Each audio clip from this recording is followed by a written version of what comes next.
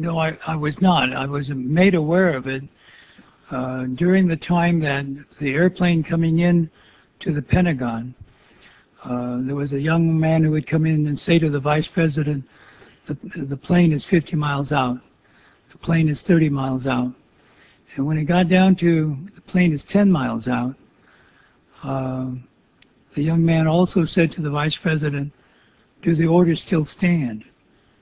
And uh, the vice president turned and whipped his neck around and said, of course the orders still stand. Have you heard anything to the contrary? Well, at the time I didn't know what all that meant. And um, The flight you're referring to is the the one- flight that came into the Pentagon. Pentagon. Yeah. If this were a dictatorship, it'd be a heck of a lot easier. Just so long as I'm the dictator.